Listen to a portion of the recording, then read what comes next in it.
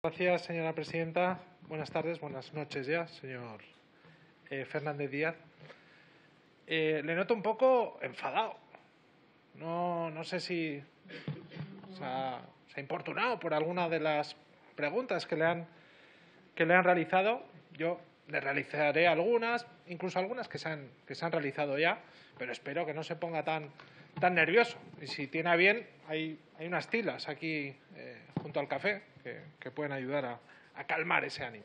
Mire, señor Fernández Díaz, usted ha, repetido que usted no tenía ni idea de ese operativo eh, llamado Operación Kitchen, eh, pero es cierto, es cierto que diferentes personas eh, le señalan a usted en el, en el, vértice de esa operación. No solamente estoy hablando del proceso judicial en marcha y de los SMS, que luego hablaremos más tarde, eh, del señor Martínez, que usted ha, dicho que, son falsos y que no, existieron. El señor Pino, que acaba de, mencionarlo en, honor a, en honor a él.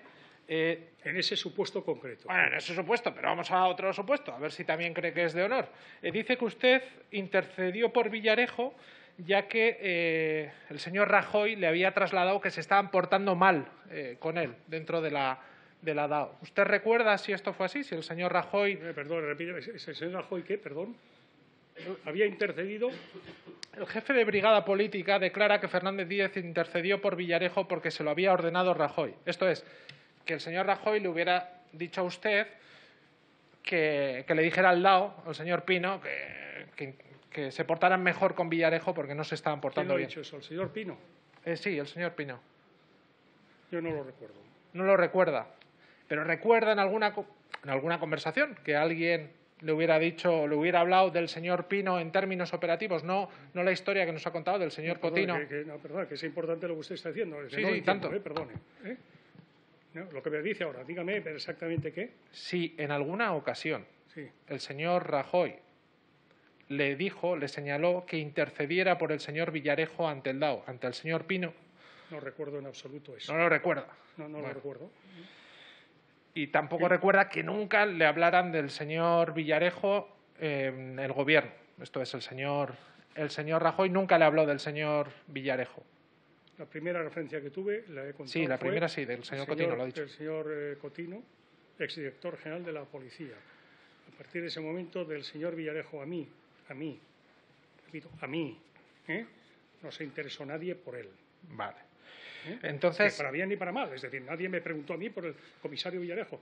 Yo iba actuando en relación con el señor Villarejo en función de informaciones que salían. Por eso he contestado, porque me acuerdo perfectamente, que salió una información en el diario del País en relación a actividades económicas y tal, y que yo pedí a la Dirección General de Policía que me informara de eso. Sí, eso ya lo hemos ¿Eh? oído. Bueno, pues entonces, en este supuesto, que usted no recuerda bien, mm, el señor... No, que no recuerdo eso, yo no recuerdo, eh, es el señor Pino... Pero pues, fíjese, fíjese que, es, mala suerte que no lo recuerde, porque es coincidente el relato del señor Martínez con este relato del señor Pino, que ya ponen en común que usted mm, sí tenía alguna relación o que había nombrado el señor Villarejo. Y luego tenemos dos declaraciones que se han hecho aquí, eh, como la del señor Villarejo, que es cierto que yo puedo comprender que las manifestaciones del señor Villarejo pues, puedan ser puestas en duda porque ha dicho cosas que eh, luego se han demostrado que tampoco eran del, cierto, del todo ciertas, pero el señor García Castaño eh, también nos dijo que, por supuesto, nos dijo que estaba informado usted vía el secretario de Estado. Tenemos yo, he entendido que lo que había dicho el señor García Castaño es que él creía que... sí, sí, dijo que, por supuesto, aseveró. Entonces, digo, tenemos al señor Pino, al DAO, ¿no? que no son cualquiera. Tenemos también a un secretario de Estado eh, nombrado por usted, una persona de su confianza, que por eso ha dicho que se sentía defraudado, si no recuerdo mal. Luego ha hablado de traición, pero eh, ha dicho que se decepcionado. Bueno, decepcionado y defraudado, pero luego sí es cierto eh, que ha dicho que cómo se siente una persona, que somos personas, y en respecto a la traición. pero tenemos también a dos comisarios de, policía. No me consta que hayan hablado de mí en yo me he estudiado los autos y las comparecencias porque es mi deber, ¿no? Sí, sí, sí. No me consta lo que dice usted, ¿no? No, pues eh, revíselas, revíselas, señor Fernández Díaz. Pero digo, ¿no le parece que sería todo fruto de un complot? Sería todo, ¿no? que todos se han puesto de acuerdo contra usted. Es que la hipótesis yo no la acepto porque no me consta que el señor Pino haya, me haya hablado de mí, de mí, en los términos que usted dice, ni que el señor está, está, publicado. Si no, luego si quiero la salida se lo facilito, pero estoy convencido de que tanto su abogado como usted mismo, que se ha estudiado eh, todo el procedimiento. Sí, sí, precisamente por eso se lo digo. y, si no, pues y si no, le daría otra respuesta, pero es que le tengo que decir eso porque no me consta en lo que yo he visto. ¿eh? Y, lo he visto todo con bastante interés. ¿no? No, no, pues ya, veo, por eso me sorprende. Ténganlo, en cuenta, porque es que si todo el mundo, todas las circunstancias, incluso que las ha valorado un, un magistrado, pero pongámonos en la hipótesis de que no fuera así, pero que todo señala a usted como vértice de una operación, pues comprenda que se nos haga extraño, que usted, no supiera nada. Pero digo hasta ahí, pero para que comprenda usted también cuál es nuestro papel. Pero vamos... Perdone una cosa solo. ¿eh? Que yo lo he dicho antes y creo que es importante para mí ¿eh? decirlo, ¿no? Es decir, em, si esa operación, enfatizo el condicional, si esa operación se realizó, digo, fue sin mi consentimiento. Y por tanto, si se realizó, hubo interés en que yo no tuviera conocimiento de ella. Y me quedo ahí. Vale. ¿De acuerdo? Vale. Eh, pero me extraña que ponga usted el condicional, porque ahora. es que no se ha acreditado, no se ha acreditado que esa operación se hubiera realizado. Está en procedimiento. Fernández, que, tenemos, que llevamos ya varios meses y tenemos a varios comisarios, incluso agentes, que participaron en ella. O sea, que es que nos han dicho, mira, sí, es verdad, yo participé. El señor García Castaño mismo. Lo que, cuando digo que si se acredita, lo digo para respetar su presunción de inocencia. Vale, sí, no, pero digo que aquí no estamos que el procedimiento judicial no está resuelto. Pero que aquí está acreditado. En términos de esta comisión, digo, ha habido una persona, un comisario, el que decía usted, el, comisario de, la UCAO, el señor García Castaño, que ha sido uno de los únicos que ha colaborado con esta comisión y que ha dicho, yo participé, yo estuve detrás y yo me hice con esos dispositivos. Estoy diciendo que me involucrara él a mí, no me vale, Vale, entonces, pero vamos un paso más allá, vamos un paso. Imaginemos que a usted le puentearon y no le informaron. No le informaron, aunque usted, ha señalado antes que la jerarquía se debe eh, respetar y nos ha hablado, pero bueno, eh, imaginemos que no se respetó. Eh, usted en su recurso, que es interesante, apunta, y además parece que como que se enfada en el, en el recurso diciendo que esto ha acabado demasiado rápido y que hay que ir a, que, a quien se benefició del PP. Yo leyendo el recurso tengo la sensación de que usted eh, cree y considera que sí hubo esa, esa operación, pero señala a unos interesados, que es el Partido Popular. Y luego nos dice, claro, es que el origen no estuvo en el ministerio. La ejecución es obvio que sí estuvo en el ministerio. ¿Lo supiera usted o no lo supiera? Pero sí estuvo. Pero el origen, yo puedo compartir ¿eh? su teoría. Que, que, en el operativo, eh, si se produjo, participó funcionario, participaron funcionarios del Ministerio del Interior, es evidente que fue solo del Ministerio del Interior es otra cosa. hasta un secretario de Estado, cuanto menos, cuanto menos, señor Fernández, cuanto menos. Al Ministerio del Interior. Pero, pues eso, un secretario de Estado. Sí, pero que es Ministerio del Interior, digo, no solo del Ministerio del Interior. Bueno, pues Ministerio del Interior, ejecución, me refiero. Pero podríamos ir a la hipótesis que podría ser verdad y que puedo incluso compartir que el origen estuviera en otro lugar, en el partido. Eh, ¿Por qué usted señala este, esta hipótesis? ¿Tiene conocimiento de algo? ¿Es una tiene una percepción. Yo en mi recurso no menciono al Partido Popular ni acuso. No, pero al origen, hombre, no hace falta ser Einstein, no, hace falta ser Pericles, digo, si es, que, perdona, perdone, perdone. Lo que yo digo es que como se afirma como un dogma de fe y algún otro con algún otro portavoz, ¿verdad? Nos ha dado dogma de fe eh, en la palabra de lo que ha dicho el juez instructor en su recurso, yo he dicho, hombre, permítame que le recuerde, no a usted, a él, ¿eh? le he dicho que, oiga, mm, algo tiene el agua cuando la bendice, ¿no? Es decir, algo del cierre de ese eh, sumario, bruscamente, como ha hecho el juez, pues alguna razón debe haber para que todos, todos, partes acusatorias personadas, partes defensoras, Ministerio Público, todos recurran el cierre de la instrucción. Es lo que he dicho. Vale, vale. No, sí, lo que me extraña es que teniendo una teoría que es tan interesante y que le podría incluso eh, ayudar, a usted, no la haya desarrollado durante esta intervención. Pero, señor, en aras, en aras... Iñarritu, perdón, permítame que le diga, permítame que le diga, ¿eh? Que yo eh, estoy defendiéndome. Yo no quiero acusar a nadie. Yo no quiero acusar a nadie. No, pero para esclarecer este asunto. Sí, pero bueno, esclarecer el asunto no me corresponde a mí.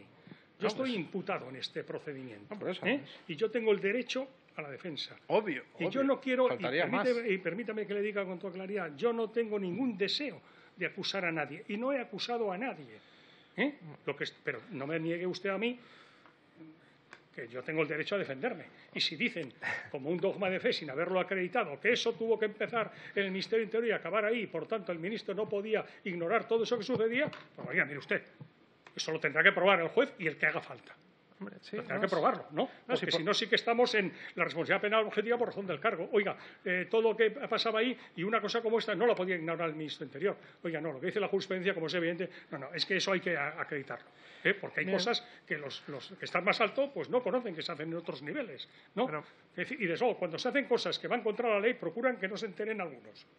Interesante, pero no, no- no tenemos mucho tiempo para desarrollar esta teoría, pero ya le digo, me extraña que no haya aprovechado este tiempo para decir, pues mira, mi teoría es esta, esta y esta, y por esto yo no sabía, pero que todos los indicios o que bastantes pruebas, que usted es cierto que dice que no son verdaderas, apunten a usted, pues bueno, ¿Qué, pues cuando qué venimos indicios, aquí... ¿Qué indicios y qué pruebas? Hombre, Aparte eh, de los las mensajes- actas que son actas ver, de que manifestación, sí, que de actas- manifestación y que los propios notarios Sí, sí, en sede que ya- judicial ya- ya he escuchado han- su teoría, han dicho, señor han Fernández. dicho que no, que no, que no, que simplemente eso es lo Son que dijo actas, él, pero es que, ni siquiera lo comprobaron. Pero ese relato de los hechos puede ser creíble, el del señor Martínez, Pero y esos estamos SMS, hablando de un relato, oiga, Que son entonces si yo voy a, coincidentes una- con- a un, a un notario y le digo, usted, levante usted un Vale, acta en el que yo manifiesto que la Catedral de Burgos eh, es propiedad mía.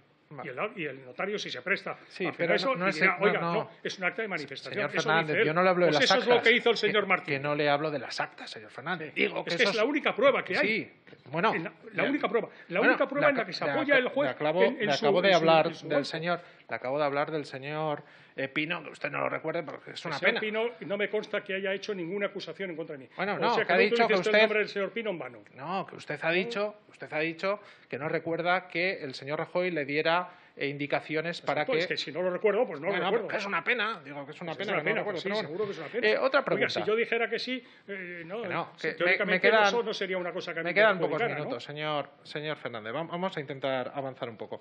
Eh, ¿Usted eh, destituyó al señor García Losada eh, como comisario de la Policía Judicial?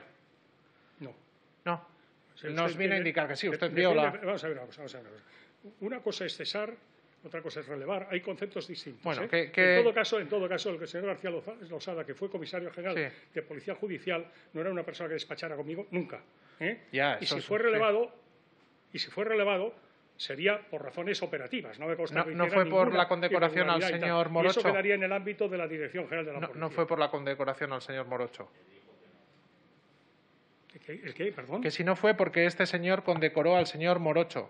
¿Quién le condecoró? ¿El señor García Losada? Obvio, Me, sí. me acabo de enterar ahora, sinceramente, pero no tengo Pero ninguna... se ha dicho que, ha seguido las comisiones. Si fue un motivo de, de- de Pero, interés. pero es que, ¿sabe qué pasa? Que, por ejemplo, también leí que el señor Morocho, por el olí en los periódicos, y Sí. además, el señor Morocho dijo que el comisario Olivera estaba con él y tal, Sí, y que eso le lo ha dicho el antes. ministro eh, y le dijo, oye, para interesarse por un destino en el exterior de Morocho para apartarle de la causa. Hombre. Y luego lo ha negado el propio comisario tal, porque claro, Pero es que, en fin... Señor Fernández, pero que hubo un intentos de obstaculización en la labor del señor Morocho, está novio que le pusieron en un despacho en, en la DAO. O sea, eso- eso- eso es- ¿Y usted cree que el ministro se ocupa de eso, no? No, no, pero eh, que, hubo, que hubo órdenes de alguien. ¿Qué- ¿Quién se encarga de eso, por ejemplo? Vamos a ver, oiga, eh, eh, eh, si, si eso fuera cierto, si eso fue cierto, Sí. que nos encargará por sus superiores jerárquicos El en ámbito de la. Dirección General de la Policía, de la Dirección de la Junta Operativa de la Policía, de la Dirección General, de la Comisaría General correspondiente y demás, pero es que, es que las cosas van por su, por No, su procedimiento, ¿no? No, sí, sí, no, sí, sí, por eso el señor eh, Morocho decía que, que- estaba eh, sorprendido por tanto las presiones que tuvo como por los intentos de eh, llevarle a destinos dorados. Pero bueno, vamos a otro asunto, ya que aquí parece que no, no- no se acuerda tampoco. En, en un libro que se llama Per Raó de Stat, al final, eh, de la periodista Sara González, usted dice, eh, en relación a las grabaciones que le hicieron, me tot. A aquestes altures, com es va fer i el per què. Me explico. Perfectamente. Eh, ¿Quién? Sí, sí, digo, ¿cómo se va a hacer? Ya nos lo ha dicho, pero el por qué, el por qué cuatro días antes de las elecciones eh, se hacen públicas esas grabaciones. Usted dice manipuladas, que yo también digo, joder, pues en manos de quién estaban, que me supongo que del, del Ministerio ¿Usted del que Interior. es fácil, es tan difícil manipular? hoy No, digo quién, quién, quién, quién. He ¿Quién que las dicho- he hiciera públicas he en manos de quién antes- estaban? Ha dicho antes que yo lo sé. Pues dígalo, tiene una oportunidad No, no, aquí, ¿no? No, mire usted, yo. Va a ¿sabe ser el diablo, como le he decía Benedicto VI Tengo la el 16. convicción moral, pero no tengo pruebas. ¿Verdad que lo he dicho? Sí, No pero estoy acusando a nadie. ¿quién tiene la capacidad y el la poder? convicción moral de quien lo hice, y cuando digo tengo la convicción moral, créame, señor Iñarruto, es que no tengo ninguna duda, pero tampoco tengo ninguna prueba. Y, y ¿sabe qué pasa? Que, eh, Pero ¿quién tiene una capacidad en un- una hipótesis? Vamos a ayudar. No, que no, esto no, le va a no. ayudar para no tener pruebas. seguro Dice, que usted me va a ¿Quién tiene la capacidad? ¿Quién tiene la capacidad de tener, en primer lugar, unas grabaciones que se han hecho desde una unidad de la policía, que están, me imagino yo, en unas unidades policiales y que teóricamente, según dice usted, han sido dos años después, ¿eh? en el año 16 y aquello había sido el año 14. ¿Pero en quién? esos ¿El dos años señor- pasan muchas cosas.